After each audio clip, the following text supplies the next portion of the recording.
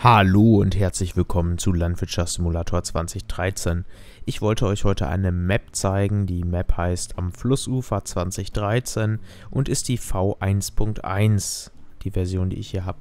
Ich habe jetzt dieses Bild hier gewählt, weil ich finde, dass man dann ganz schön über, eine ganz schöne Übersicht über die Map bekommen kann. Ähm, ich zeige euch mal die PDA, dann seht ihr auch schon, sage ich mal, das Markanteste an der Map. Das sind halt diese relativ großen Felder in Verbindung mit, ähm, ja, hier kann man durchfahren. Gleich werden wir auch ein ATV kaufen. Ich habe extra ein bisschen Geld gescheatet, damit wir das alles vernünftig testen können. Ich werde jetzt mal hier einmal hinfahren, dann, dann seht ihr, die Felder sind relativ billig, würde ich mal sagen. Und die sind auch sehr groß. Also ich glaube so 16 Hektar teilweise. Also schon ein Stück größer als Feld Nummer 40 auf der Standard-Map. Wobei ich auch nicht genau weiß, ob die Angaben hier immer so vertrauenswürdig sind, ob man, ob die so stimmen. Damit habe ich keine Erfahrung. Ich habe teilweise nur schon Modmaps gesehen, auf der das auf keinen Fall passen kann, diese Angaben. Auf jeden Fall, was ich gut finde, dass man die Felder kaufen kann. Das habe ich ja bei der anderen Map noch nicht gesehen.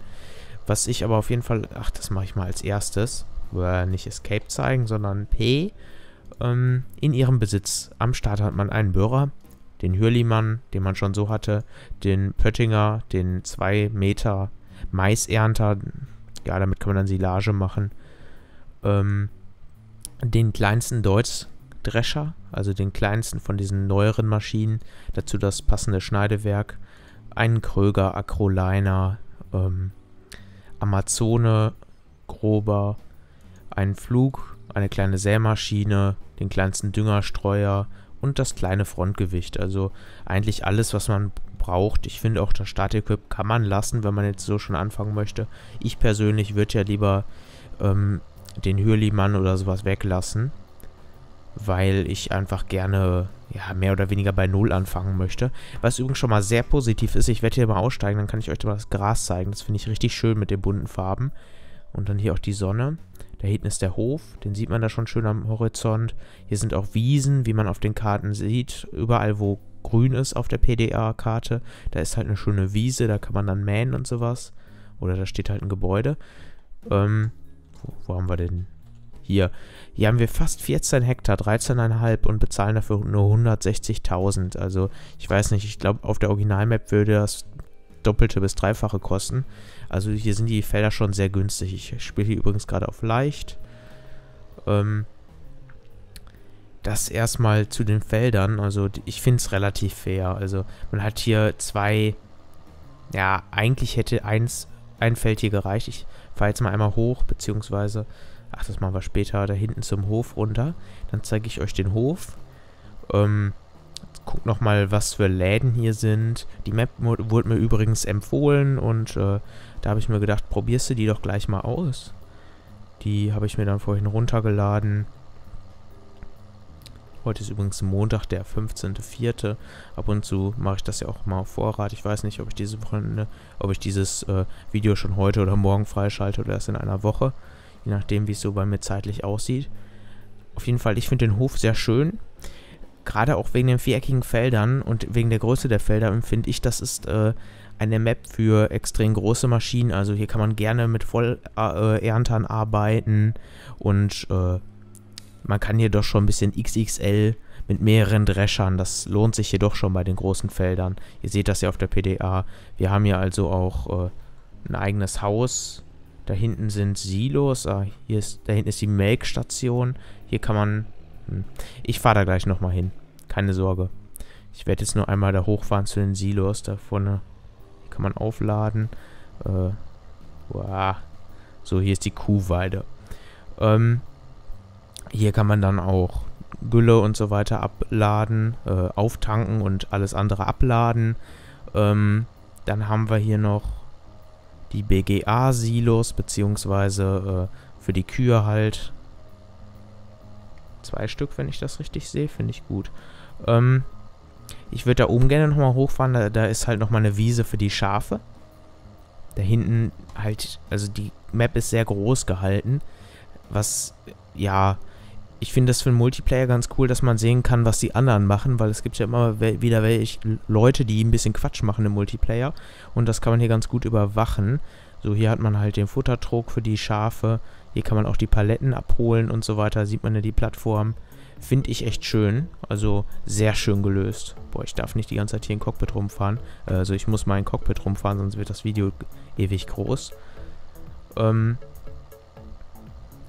Tankstellen haben wir auch mehrere.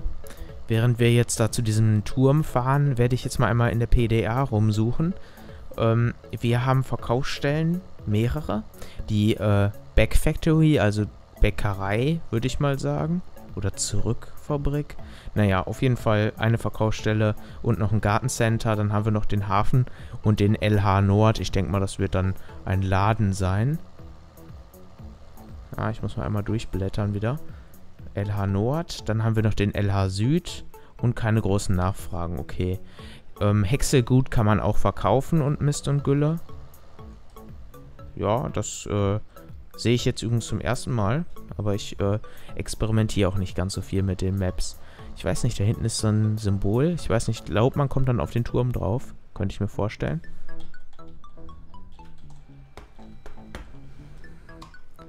Ich werde jetzt mal einsammeln. Beziehungsweise mal gucken. Einsteigen. Oh, ja, man kommt oben auf den Turm drauf. Das ist ja super. Dann kann ich euch von hier oben die wichtigsten Zeichen der, die wichtigsten Sachen der Map zeigen. Wenn das geht. Kommt man hier noch höher? Ah, da hinten wieder runter. Auf jeden Fall, diese, die Felder werden hier halt eingezäunt. Hm. Kann man hier nicht irgendwie sterben? Nein. Äh, Mann, die Geländer sind hier so hoch. Das ist ein bisschen blöd. Auf jeden Fall, man sieht ja einfach diese Größe in der Mitte, diesen Fluss. Auf der anderen Hälfte sind auch noch ein paar kleinere Felder. Ähm, den Hof haben wir schon gesehen. Dann werde ich, denke ich, jetzt mal so hier runter. Man kann ja in diesem Spiel nicht sterben. Oh, das sieht cool aus, dass sie die Räder eingeschlagen hat. Ähm, liegt wohl daran, dass ich die eingeschlagen hatte, als ich ausgestiegen bin.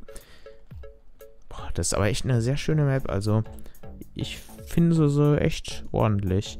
Ich wollte jetzt mal hier Mods. Wollte ich mir mal so ein ATV schnappen. Hier sieht man halt, stehen wir wieder am Hof, wo wir vorhin, rumge wo wir vorhin rumgecruised sind. Wenn wir jetzt nochmal hier sind, dann nutze ich das gleich auf, um euch da hinten die äh, Silos zu zeigen. Die Silos sind halt in diesem Gebäude da. Ihr seht hier an der Seite schon die Abfüllanlage. Hierhin wird dann wohl auch der Milchwagen fahren zu dem Tank.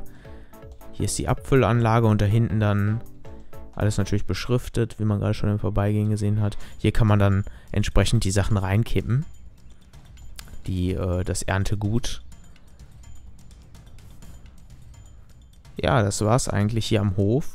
Dann würde ich sagen, tappe ich mich mal wieder durch. Bürger. Okay, dann sind wir hier oben. Und wo sind wir jetzt? Ja, okay. Also der Fluss der sah auch ganz gut aus, auch grafisch hier, auch mit der Bahnlinie.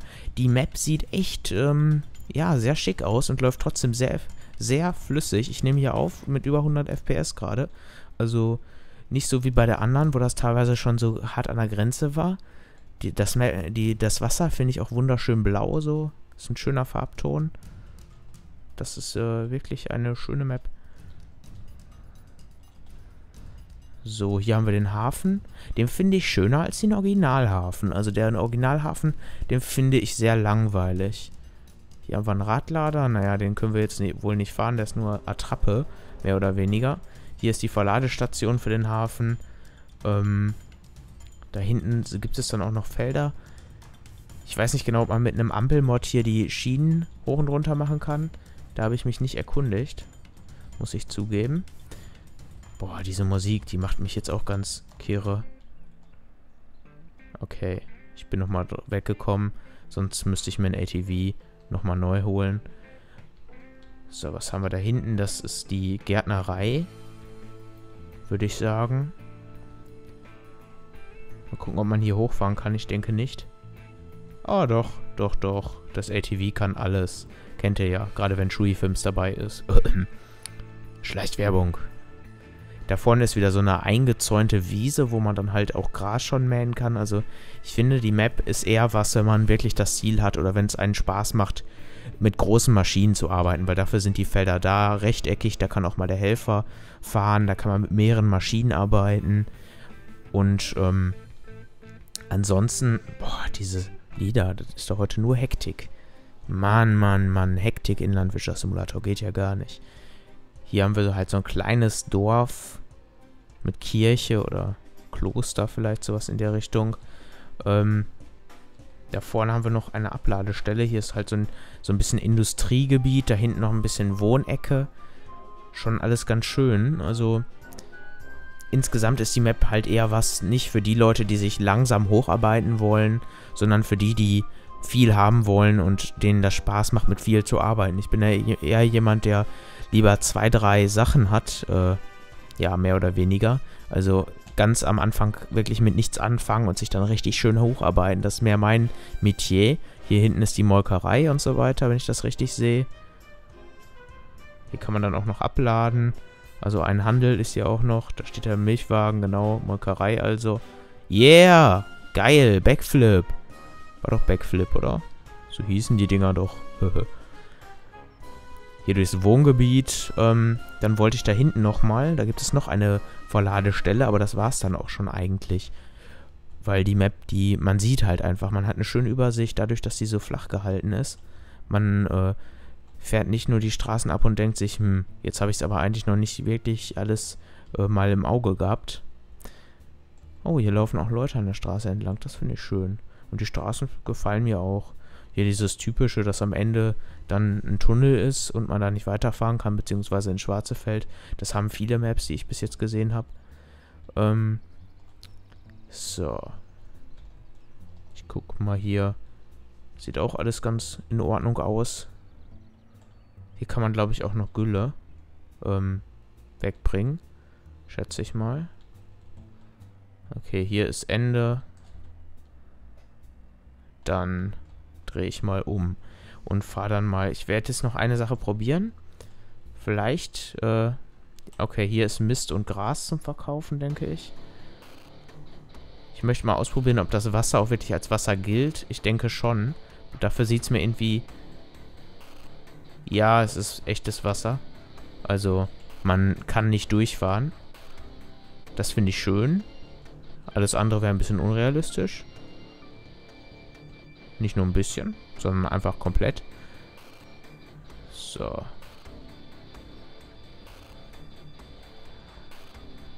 Gut. Ähm, nun ja, dann fahren wir jetzt mal wieder zurück Richtung Hof. Das ist ja halt eine Hauptstraße, die hier außen rum geht. Die BGA liegt jetzt da hinten rechts von uns. Das ist jetzt auch eigentlich nicht so weit. Aber das ist auch schön hier mit den Bäumen. Da hinten ist die BGA, da seht ihr ja die Silos. Ich denke, also diese, ähm, ja, wie, wie heißen, heißen die nochmal? Also wenn man ähm, das, die Silage in diesen Schredder da rein tut, da diese Hallen, in deren, denen dann daraus Biogas wird, da sieht man die Dächer von am Horizont. Ich glaube, ich muss euch das jetzt nicht näher zeigen. Ich glaube, da wisst ihr schon selber, wie das aussieht. Gut, dann können wir eigentlich auch direkt in die Richtung hier fahren. Ich möchte die eine Verkaufsstelle da hinten nochmal zeigen. Und dann haben wir es eigentlich geschafft. Ähm, wie gesagt, es ist eine Map, die ich auch selber spielen würde. Nur, dass mein Problem halt ist, ich fange gerne bei Null an und möchte mir das dann aufbauen. Und das Aufbauen macht mir dann persönlich mehr Spaß, als ähm, irgendwann dann mit den allergrößten Maschinen zu arbeiten. Dann habe ich dann irgendwann die Nase voll von. Was ja auch der Grund ist, warum wir nach Part 200 aufhören. Okay. Hier ist dann nochmal ein Landhandel oder sowas. Mit einer Tankstelle. Ja, das sieht aus wie der Original Landhandel. Also nichts Spektakuläres. Aber ich finde das Gras immer schön, also ehrlich. Und hier hat man so das Gefühl, man kommt ans offene Meer. Obwohl das wahrscheinlich einfach Map-Ende ist. So, ähm, ich probiere noch einmal raus zu zoomen. Ich finde echt, es ist eine schöne Map, sehr spielbar. Und gerade wenn man mit mehreren Leuten vielleicht große Ernten machen möchte, mit großen Maschinen, wie gesagt, kleine Maschinen machen denke ich, nicht so wirklich Spaß. Ja, dann ist das genau das Richtige. Und dann würde ich mal sagen, wir sehen uns beim nächsten Video. Tschüss.